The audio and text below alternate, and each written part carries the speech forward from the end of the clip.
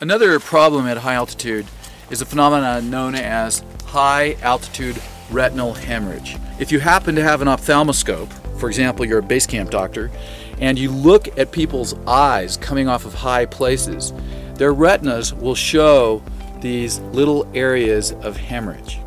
Now, as you can see in this slide, this is a climber's retina. And you see the optic disc coming into the center of the retina. You can see that, can't you? And uh, you see this darker area, which is the macula, the area of central vision. That's normal. But all of these blotches, you can see those too, should not be there. And those are retinal hemorrhages. I saw a really bad case of retinal hemorrhage in a Canadian doctor on Everest one year. I said, You've got this massive premacular hemorrhage. You need to go down. But this climber was a doctor. So what do you think he did? You got it right. He went up. And what is the, the standard treatment if somebody's stung by a, a jellyfish like that? What do they do?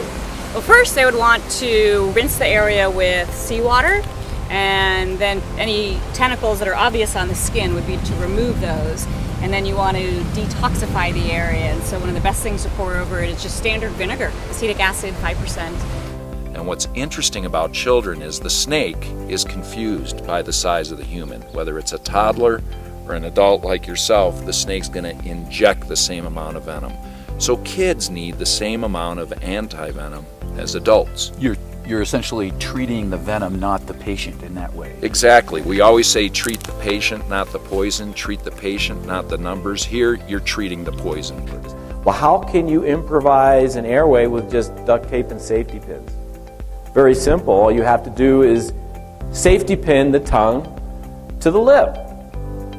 It works. It works a whole lot better if you safety pin it to the lower lip than the upper lip. You and I are walking side by side down the trail. He is a direct strike, and it can bounce off of him and onto my body. Electricity takes the path of least resistance. The real hallmark clinically of high altitude cerebral edema is truncal ataxia.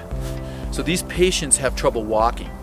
So something that I will really do in the mountains is if I've got a patient that I'm worried about, I'm worried they may be developing HACE, I'll say, hey, can you actually get up and walk the line?